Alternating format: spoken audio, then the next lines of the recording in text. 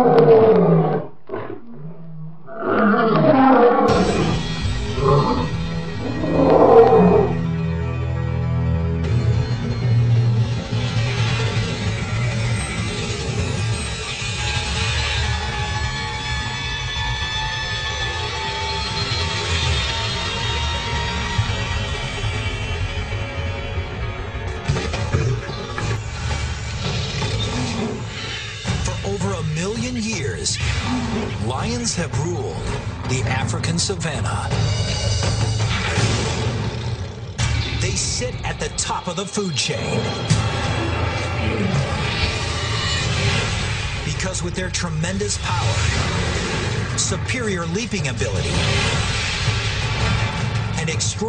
teamwork, lions aren't afraid to take on anything.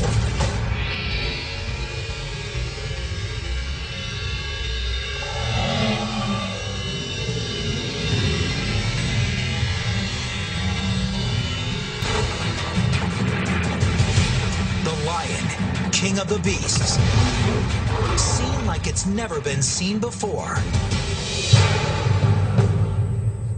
It's mid-September in East Africa.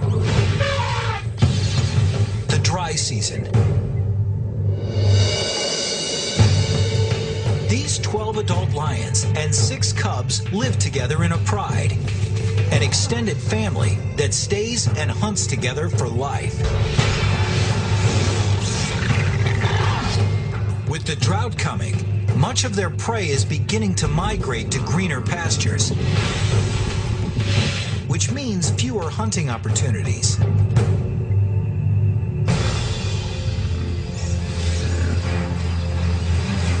Since each lion needs about 12 pounds of meat a day, or about 8,000 calories, this pride can't afford a botched hunt.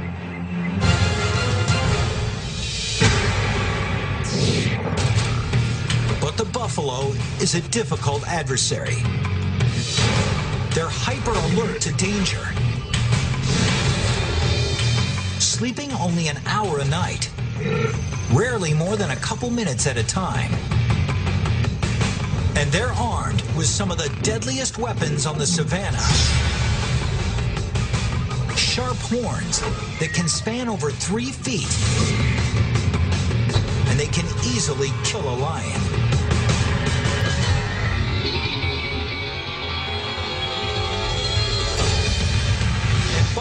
Protect their own.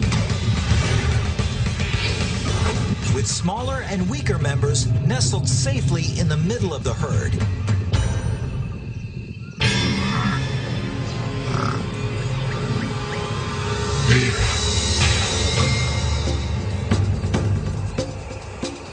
So, in order to succeed against buffalo, a lion needs to employ teamwork and strategy. A lioness catch a buffalo, but they can't bring it down by themselves. On the other side, a lioness could certainly eat a gazelle, but it can't catch a gazelle. It's not fast enough, so it's got this really tough. You need friends. You need friends.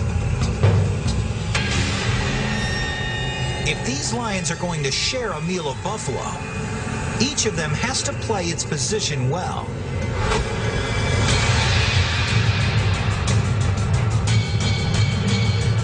Begins when two flushers charge the herd, forcing it into a panicked run. Then one of the pride's two strikers scans the herd, singling out the young or sick buffalo, or one that strayed from the herd. In a matter of seconds, she's found the target. Nestled in the middle of the herd is a buffalo cow with one broken horn. Any fight serious enough to break something as durable as a horn probably did more serious damage to this buffalo.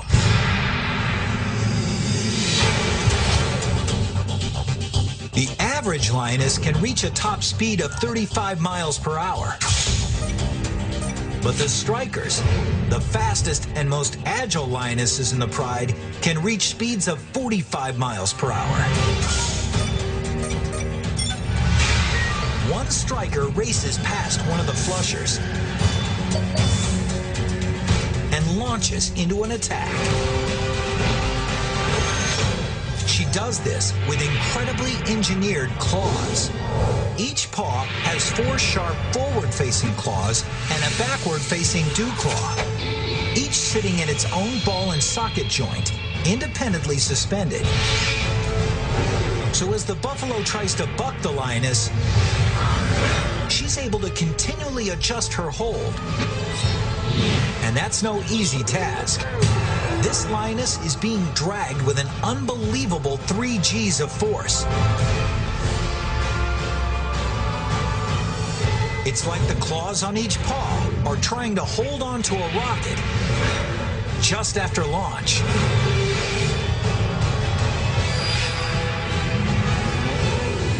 Soon, reinforcements arrive.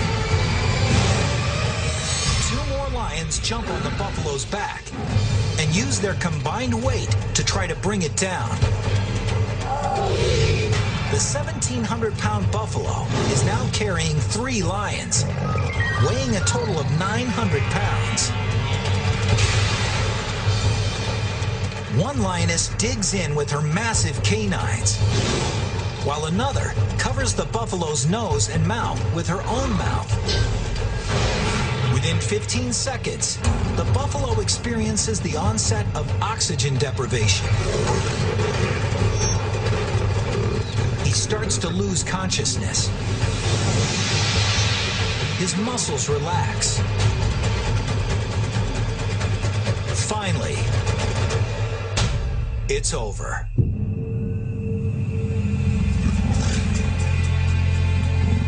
But after all that hard work, the star huntress may not even get to eat.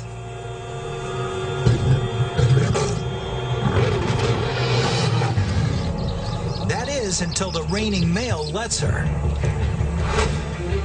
He'll eat 40 pounds of buffalo before the females get a bite.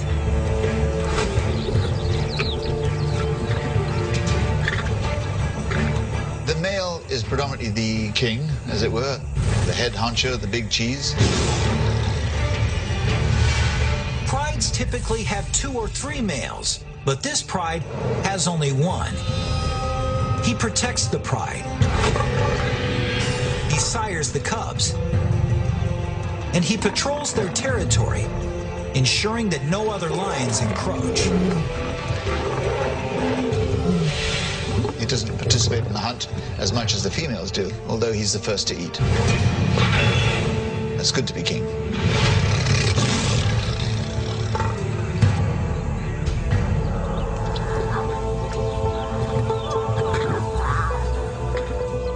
Was a particularly good kill. The 1,000 pounds of meat will net the pride 700,000 calories, enough to sustain them for nearly a week. The pride eats, but a bone-chilling sound interrupts them.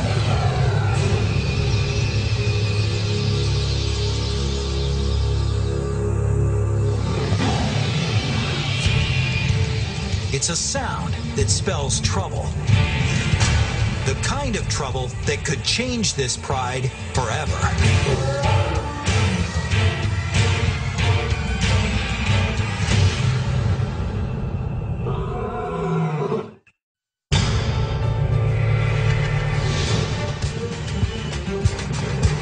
Life is pretty good for this pride.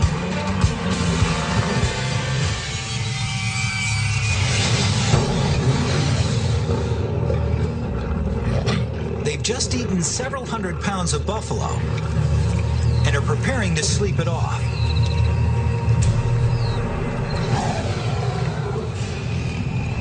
When they're interrupted by a roar in the distance. An intruder is approaching.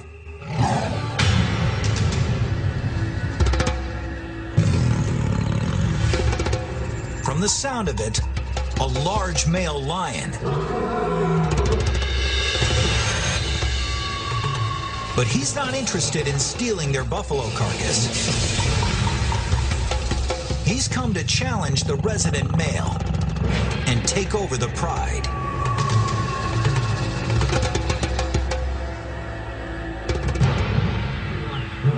It's been a couple of years since the resident male was himself the challenger.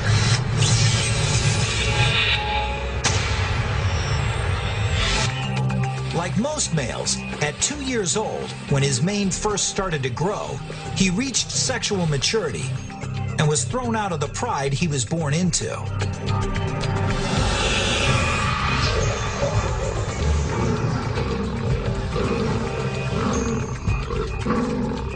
This serves an evolutionary purpose.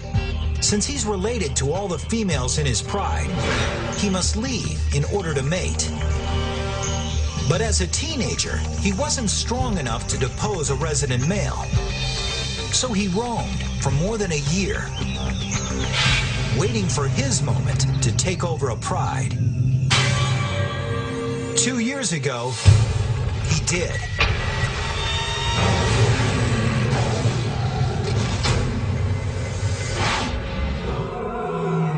Now, from the sound of the distant roar, the shoe is on the other foot. Personally, I've heard of lions roaring from six miles away. And when you realize how far away it's like, God, but they seem so close.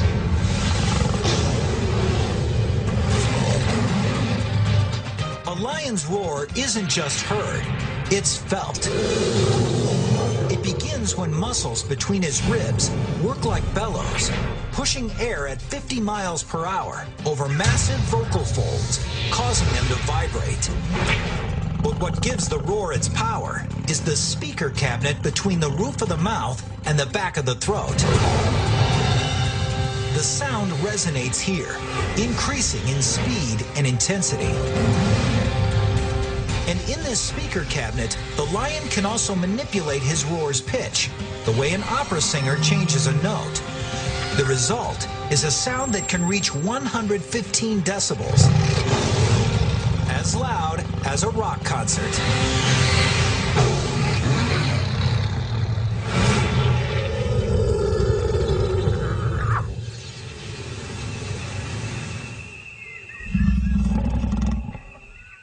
Another roar comes, from much closer this time.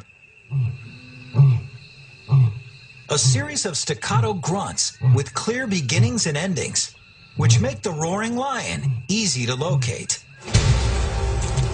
The name of the game is intimidation. I don't think they'd rather kill each other. They don't want to get hurt either.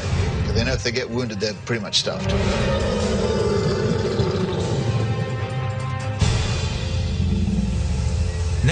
Both resident and challenger have a choice fight or flee.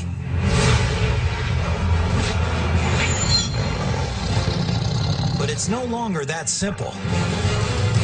Suddenly, he sees that he's not just facing one lion, but two.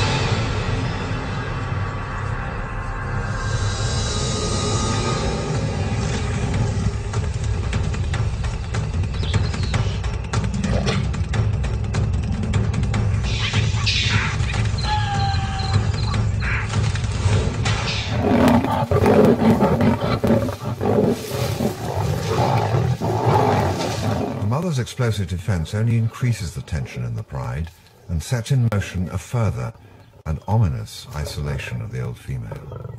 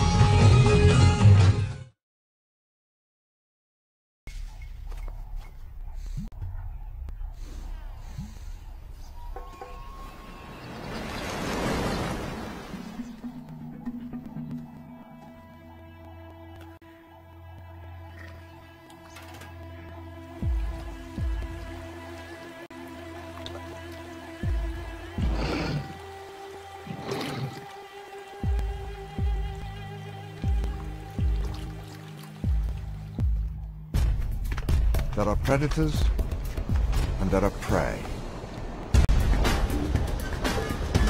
And then there are enemies.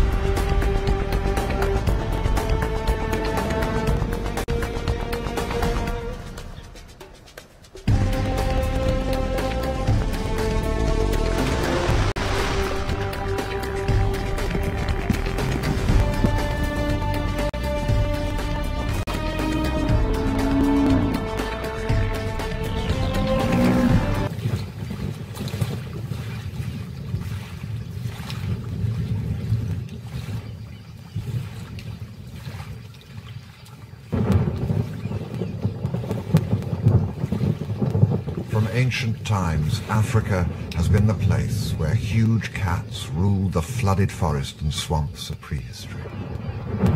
It was a violent time when the nightmare of massive predators stalked the land and nothing was safe.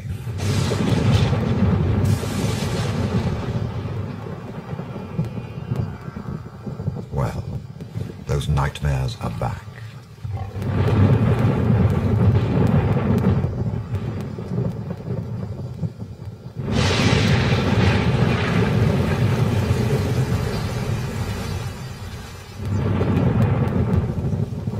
Is an unusual pride of lions stalking these swamps. Cats that live in water and hunt a single herd of Cape buffalo. Evolution favors predators that can hunt a range of prey, but these lions are defying that trend by becoming specialists, relentless hunters of this one prey. The explosive sky spitting fire from the heavens is an unsettling prelude to the battle ahead.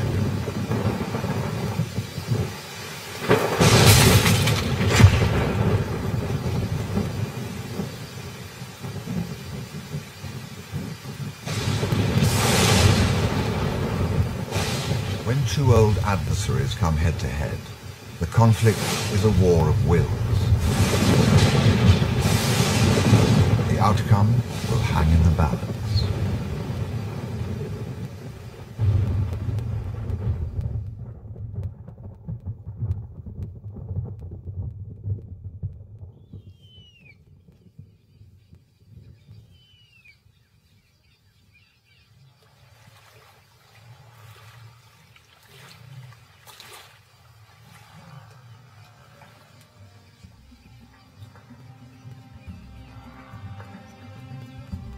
There is an island in Africa, a place where the ghostly shapes of over a thousand buffalo drift over the domain of the resident pride of lions. The Tsaro pride are buffalo hunters, made up of nine lionesses of enormous bulk. Thick necks and heavy chests define them. Features that serve them well for this unique hunting. Amongst them, a silver-eyed female, possibly blinded in combat with the buffalo. She carries her battle scars well and leads many of the hunts. The heaviest set is a skew-eared female, and the twins, two identical lionesses that often give birth to cubs at the same time and always hunt together. Then there is the large, older female, a good huntress. But there is something different about her. She sits off to the side, watching the pride, always distant. The skew-horned buffalo bull is the herd's pathfinder, and he has led it around the Tsaro territory for years. He is a survivor and senses the trouble ahead. There is a magical moment in any hunt. Each time, just one first moment, a time somewhere between the initial stalking approach of individual lions and the coordinated run-in of a unified pride. At that moment, the decision is made. We will attack, and we will attack together.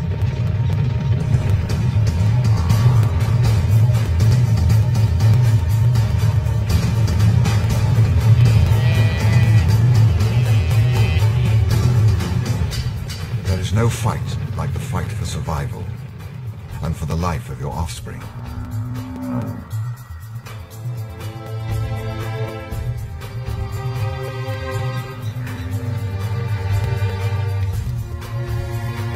But these lions will not accept failure.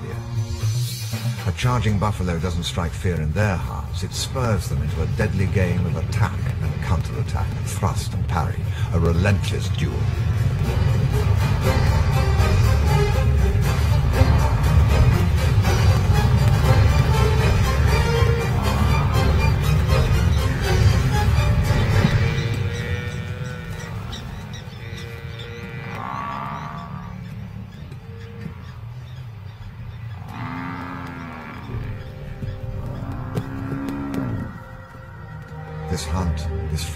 Over.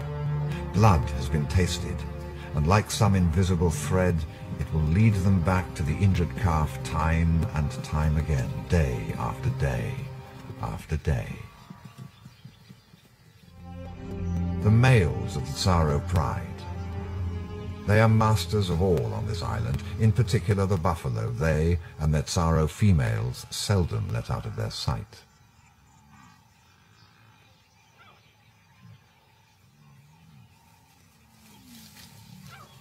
There is a significant new addition to the pride. Growing up against this backdrop of buffalo, he needs to be nimble and confident on his feet to become a Tsaro lion, a specialist buffalo hunter.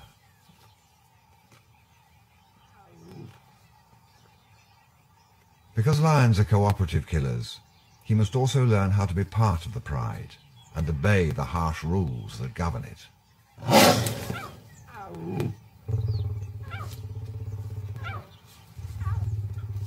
He has a brief window, while under his mother's intense protection, to memorize the personality of each pride member. As a Tsaro lion, his world is now a world of buffalo.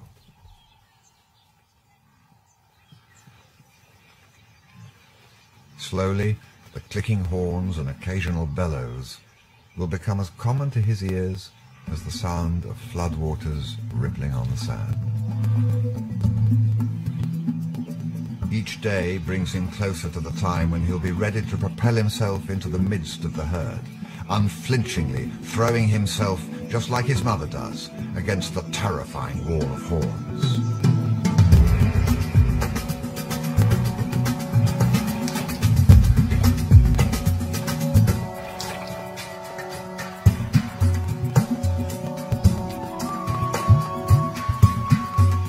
Buffalo must walk their own knife-edged path of survival, finding food and water, while all the time avoiding the dangers that will leave their bones scattered in the indignity of death.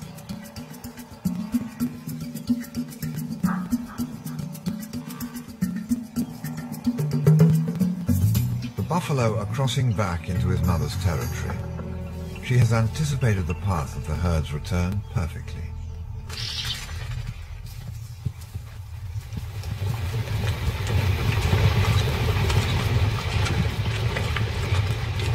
The technique? Flush the herd and scan for the weak. This time she is alone, but she knows the gifts of this summer season, the newborn calves.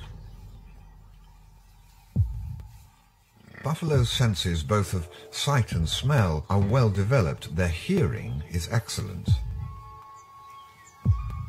These are intense and alert animals, but a sixth sense creeps through her now. She knows there is a lion nearby, and she knows it is coming for her calf.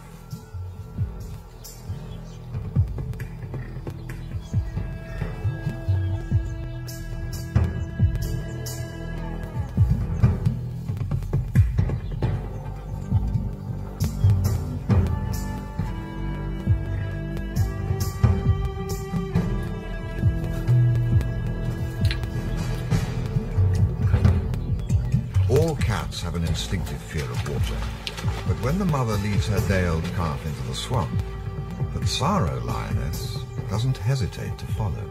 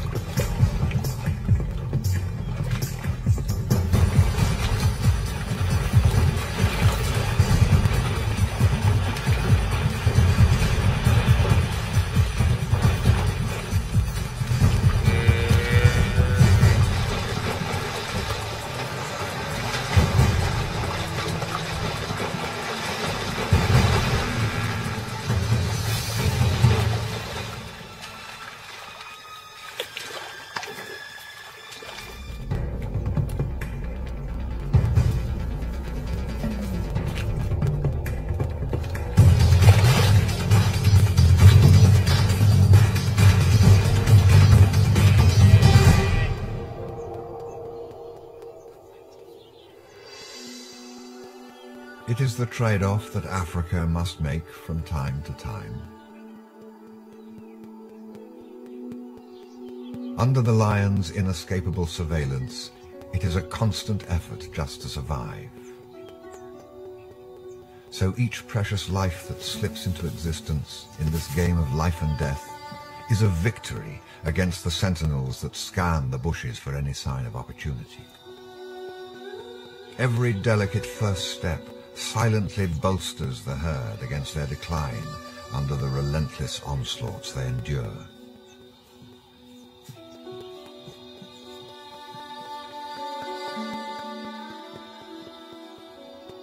Each wobble, during the agonizing hour it takes to stabilize, is a celebratory yell against the fates.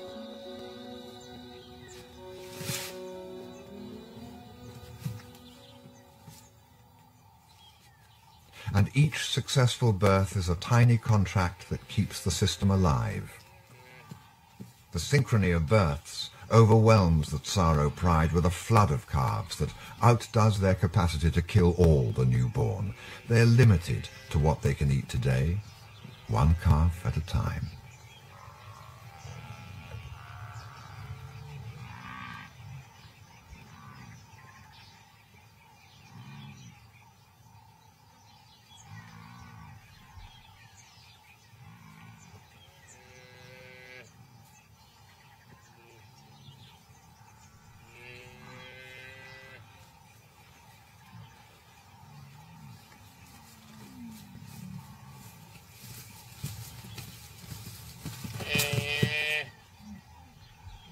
Although many are killed, the majority of the baby buffaloes survive.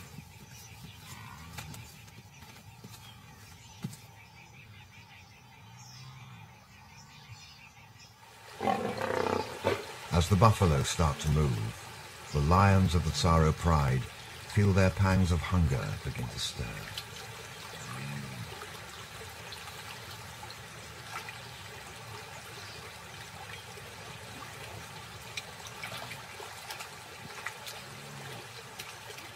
Ahead will be a fast-moving game of life and death, for they must know that taking on a fully grown buffalo with nothing but claws and teeth has to be the most dangerous game of all.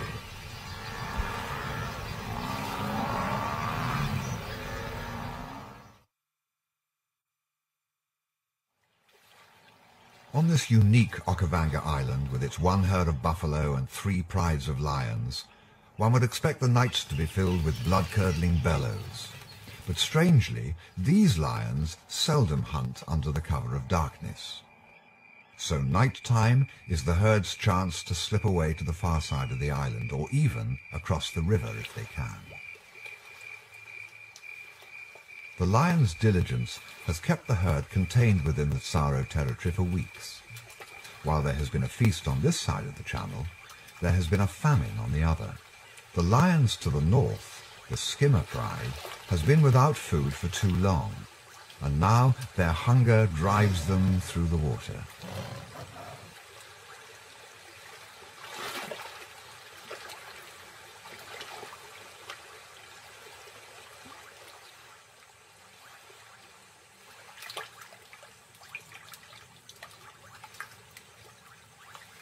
They are nowhere near the size of the Tsaro lionesses but they have other skills. Now the skimmer pride has to risk making an insurgent sortie. Just four small adult females with ten hungry and ineffectual cubs. They have to do this stealthily.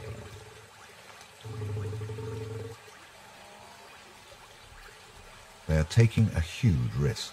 If they panic the herd too early, the Tsaro females are bound to hear the chase and react.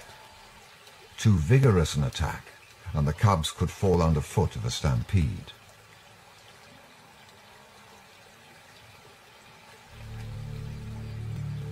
When a single female sees her target, the risk increases even more. The only option now is a frontal attack. This is almost suicidal.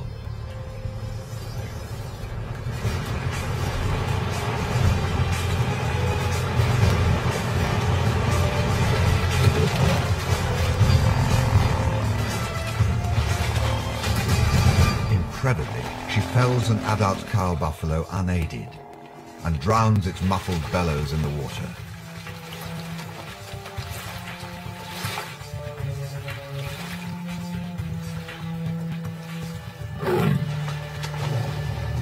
Their desperation sees off any intruders. A hurried meal is all they can risk for now.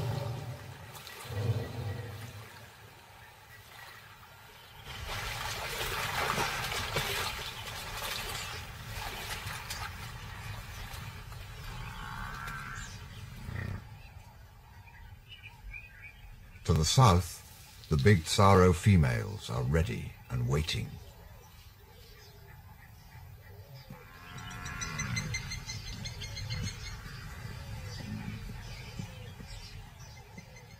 In a sophisticated and well-honed tactic of herding the buffalo, they first panic them with a strange growling charge. The object is not to attack, but to stampede the herd into the water. Only then do they pick off the struggling young as they flounder out of their depth. It is Silver Eye who makes the first contact, dragging her prey underwater to deliver mortal wounds before the mother can retaliate and rescue her calf.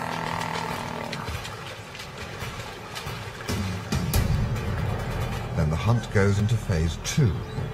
Now, like sheepdogs, the lions herd the buffalo together, relentlessly pushing in.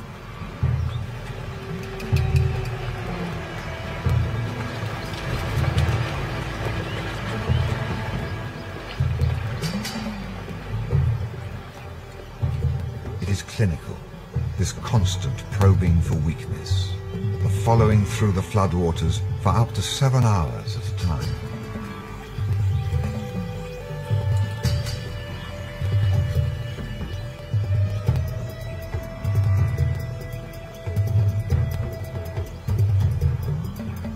Female hangs back for a moment, but the cub is eager to join in, despite its instinctive fear of water. Water is an element that all Tsaro lions must conquer early to become what they are, true swamp cats.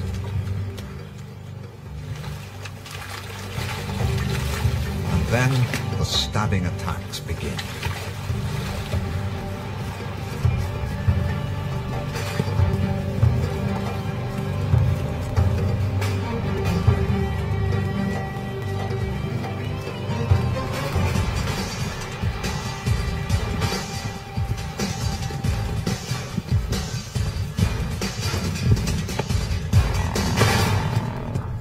Attack weakens the spirit of the herd.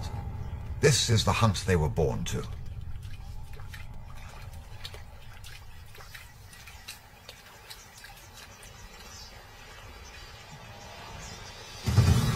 And this is when the blood races, adrenaline coursing through their muscles, throbbing in their heads.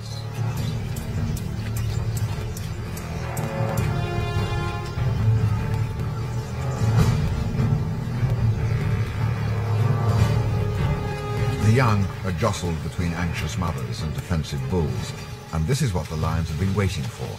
Mistakes that, given time and constant pressure, are bound to happen.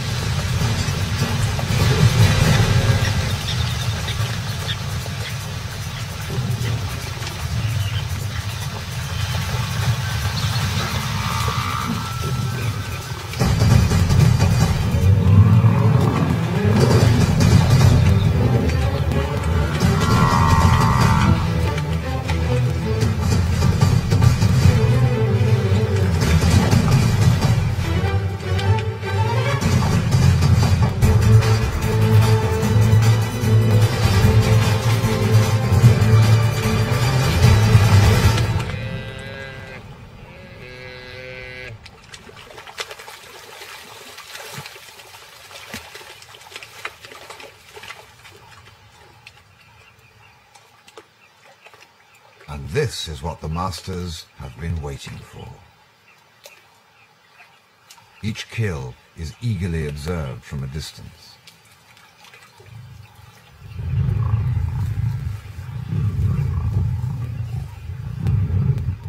Ready to add more battle scars to his profile if need be, he is here to claim his bounty.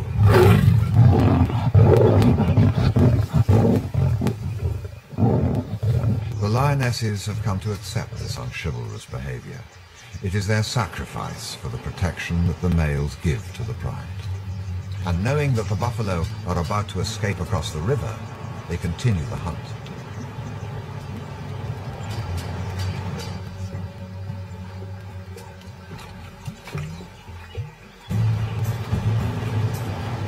The females that have run and hunted hard will need the next kill to be theirs.